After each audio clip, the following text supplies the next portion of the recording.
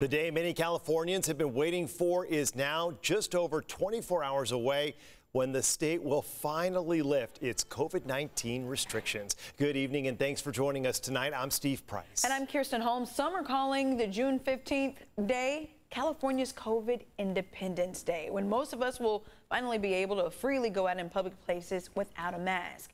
News 8's LaMonica Peters recaps what Governor Newsom had to say about this and what you need to know before you head out without that mask. Because Governor Newsom has not lifted the state of emergency, he still has the power to make decisions based on public safety. But for now, he says June 15th is the day Californians start getting their lives back.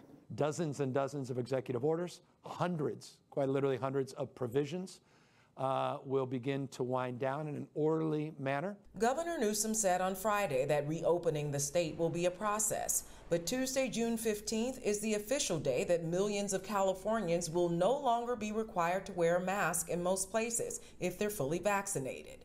Businesses also won't require social distancing or capacity limits. Cal OSHA, the agency responsible for setting workplace safety guidelines, also released its revisions late Friday. I'm confident uh, that these guidelines will align uh, with the CDC. Cal OSHA's latest guidelines propose that if an employee is fully vaccinated, they won't be required to wear a mask at work or to practice social distancing.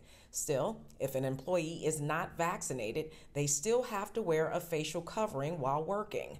One California resident says he plans to keep his face covered. I probably still wear a mask and probably still keep my distance. There are a few exceptions for unvaccinated workers. Employers have to provide face coverings if requested by the employee.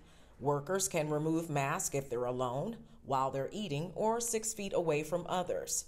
Specific medical conditions or job duties that cannot be completed with a mask will also be allowed in the workplace. Cal OSHA will officially vote on those revisions June 17th, and if they pass, they will go into effect by June 28th.